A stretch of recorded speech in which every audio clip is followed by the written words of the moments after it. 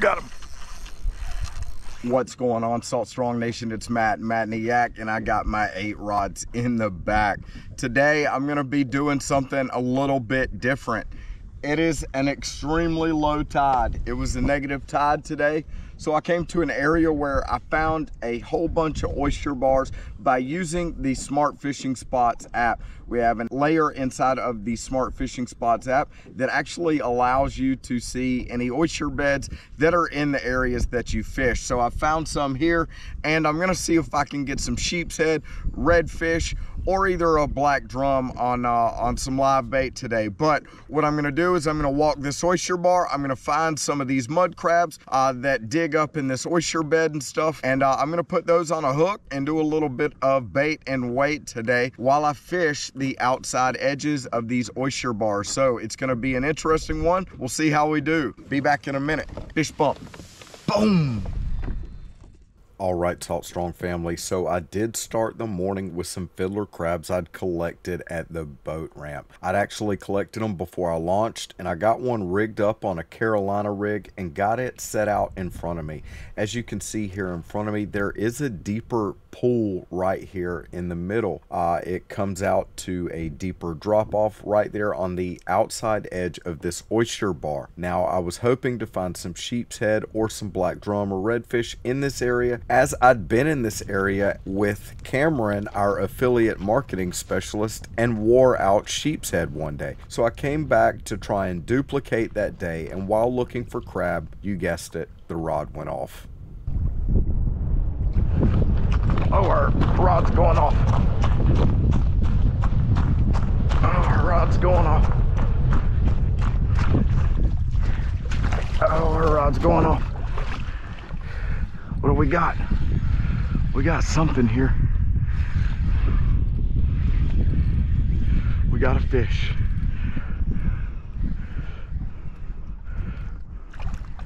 We got a catfish obviously that was not at all the start we were looking to have. So what I did was I got that catfish off of the line, got rebaited, and got my bait back in that spot. Unfortunately, after about 45 minutes of waiting for another bite, I had some dolphins come through and they continued to blow out the spot. So what I did was I actually took note of where the dolphins were headed the dolphins were headed back into the creek areas in this area. So instead of continuing to fish here at this spot that was unproductive for me, I packed up my things and I decided to move.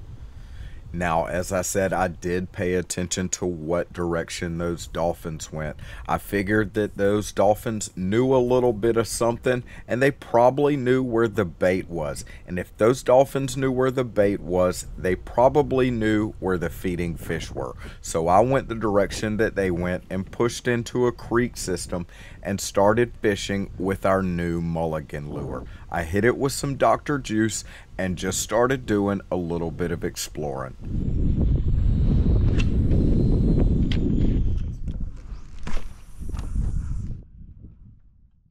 Now you guys can see here I am throwing the kicker crab. The reason I switched back to the kicker crab is because of these shallow banks. You can see these shallow mud flats that are along the side of some of these grass lines. That's where these redfish are sitting, so that's why I'm throwing the kicker crab in these areas because I can bump that kicker crab along the bottom of those shallow areas without making a lot of disturbance.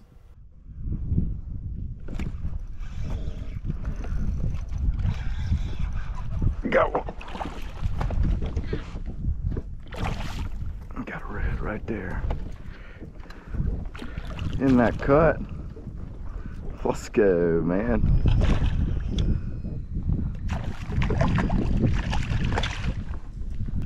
All right. Pretty little redfish on that kicker crab. All right. Let's go.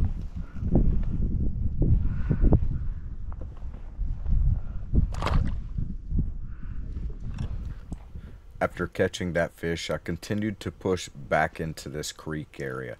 And as I pushed back into this creek area, I found exactly what I was hoping to find. I found a bunch of mullet. And once I found these mullet, I started using the mulligan lure again to start targeting these fish.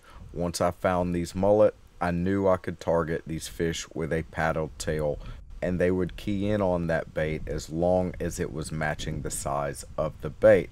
And as you can see from the size of the mullet that I was seeing, they weren't much larger than finger mullet. So this mulligan was an absolutely phenomenal choice to use in this spot. While fishing the cut that I had just came from, I could hear bait being chased on the other side. So I came out and made a move to go around and that was when I found all of the bait that was accumulated in this area in one spot. That was where I put my focus for the next 30 to 45 minutes and it paid off well.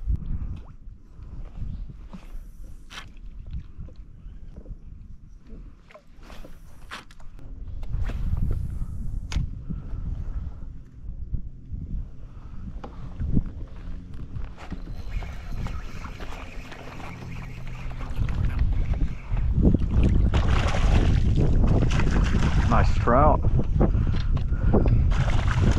On the mulligan with that Haas Helix. Got it on the new Procyon MQ tank of a trout, man. Let's go. All right. On that mulligan, man. Let's do it. Trout hit it like a freight train right here with all this mullet. Found a whole lot of mullet back here. Whole lot of mullet back here. Was hoping I could find me a fish here amongst them and what do you know see if I can duplicate that fish. Something down there popping on mullet it appears.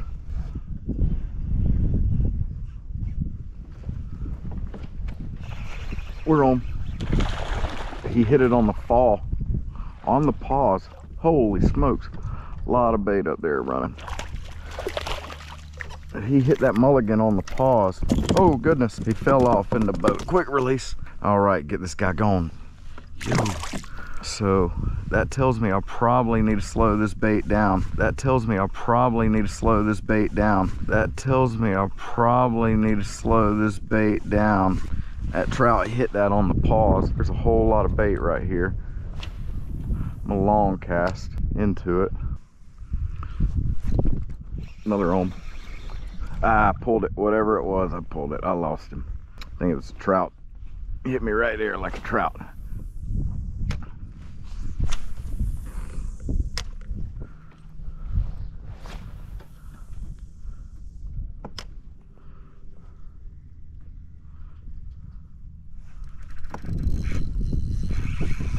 We're on. Decent fish here. Felt like when it hit, it was a decent fish. Now it's running at me. Some decent head shakes here.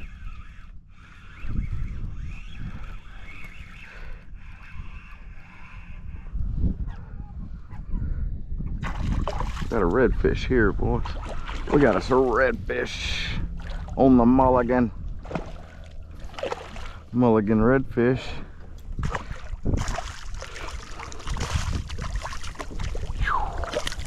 Right, let's go redfish on that mulligan. On that mulligan with that Procyon MQ. Really enjoying this rig. All right, Let's see if we can get another one of those guys. Right, we got two thirds of our slam so far. Right here in front of me is appears to be another opening to these feeder creeks here and the current has been pushing in back here and uh, I came in at a different area and now I'm working a spot where the current is going to be coming towards me and I'll be throwing into the current which is probably best truthfully now that I'll be going the right direction. Can look for a bite somewhere in here. Get through that grass there.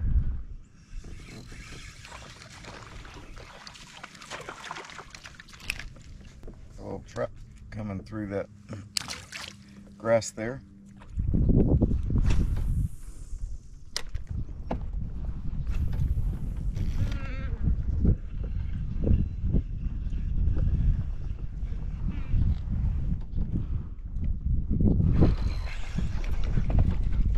Dang it.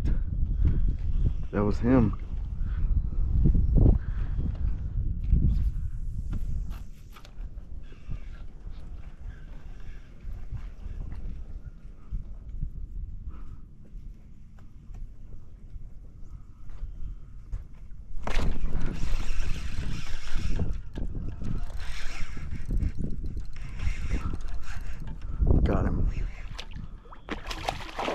He came back for it. I can't believe it.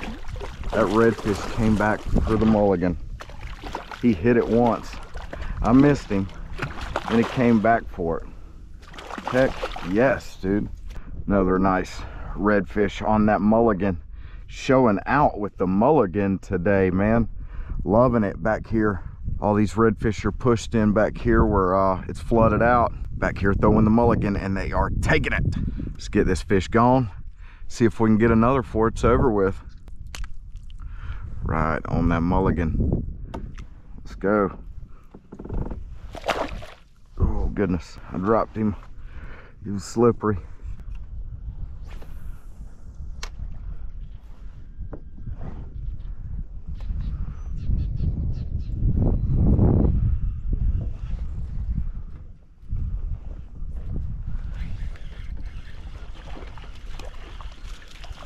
Another trout. Oh, gone. Professional release.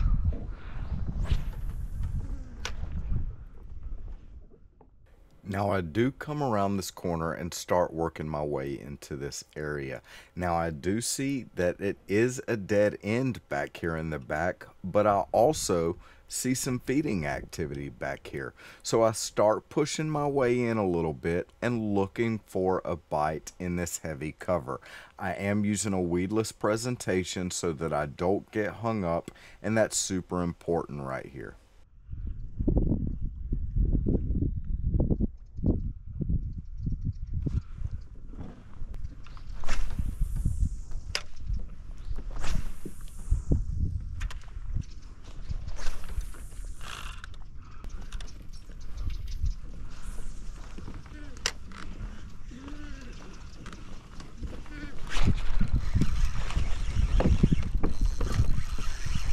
Oh, got him. I knew there was one back here with all that mullet. Oh, he's a little one, but he's back here. All right, little guy. Let's go. I knew you was back here, buddy. I knew you was back here. Pretty fella on the mulligan. Let's go. Sometimes you gotta go in a suspect place to find one fish, but it's worth it when it works out. Well, Salt Strong Nation, the day is done. We had to change the plans a little bit because we weren't quite finding the action that we were looking for, but that doesn't mean we didn't have a good day. We got in the kayak, started moving around, and went to locating where those fish were. Uh, there was just a lot of uh, fast tidal flow coming through this area, so it was just kind of moving my bait uh, a little more than I could really kind of keep it where I wanted. So I decided to try and push into those uh, creek areas, and it was actually pretty productive for me.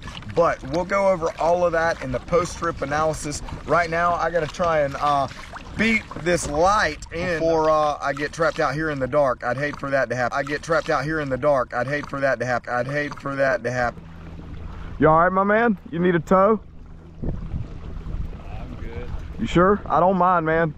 You'd be surprised how easy it is with one of these, man. I've towed a couple boats in before. I don't mind, man. I uh, I'd hate for you to be stuck out here in the dark, man. a little output shaft on my uh, the motor seemed to have taken a crap on me. Back there on that bumper. Yeah, right there that that's connected to. Same thing that you're. All right. No worries, man. We'll be in in just a second. All right, there we go. We're good, dude. Well, Salt Strong family, just as I said, I didn't want to be stuck out there after dark, and I didn't want anybody else to oh, be, so I made sure he made it in, just like me. You've ever heard of Salt Strong? Yep. I, I literally just ran out of my Slam Shady. Well, I got some you can get, my man. No worries. Man, we'd love to have you join again if, if you've been thinking about it, man. All right. Yeah, no worries, buddy. No worries, man. Didn't want to leave you stranded, buddy. And I'll see y'all in the post-trip analysis. Fish bump. Boom. Welcome back, Salt Strong Nation. Now, keep in mind, we do share that post trip analysis with our insider members in our private insider community. Now, if you like this video, be sure to give it a thumbs up and hit that bell down below. And we do always appreciate the comments, so make sure you leave any of those that you have for me down in the comment section. Now, as far as what was productive for me on that day, you guys were able to see uh, most of what I was using. I was really using that Z-Man kicker crab. That was productive for me rigged on that Texas eye jig head. That was great to be able to bounce it along the bottom. But the high producer for me on that day was really our new mulligan lure. As you were able to see in the video, I was able to find some of that finger mullet back in that creek area. And with that mulligan lure in that Fred color, I was really able to pick that place apart with that lure. Now that was rigged on the Haas Helix hook. That's one of our hooks here at Salt Strong and that just does a really great job at maintaining hookups and hook sets when you go to get those bites. Now, if you want to know exactly where we were fishing, again, we share all of that information with our insiders at saltstrong.com. If you have any questions about joining or becoming a member, be sure to check us out there as well as there is an amazing amount of information there for you to make you a better angler. Our fishing tips page is filled with amazing information that is absolutely endless and it's all catered to make you a better fisherman. So be sure to check us out there as well if you guys are interested in the smart fishing spots so that you can find oyster beds just like I did on this trip or seagrass in the areas that you fish, that's an absolute game changer when you go to make your pre-trip plan. That is also available to our insider members exclusively in the Salt Strong Insider Club. If that's something you're interested in access to, be sure to check us out at saltstrong.com. And until next time, we'll see you in the next video.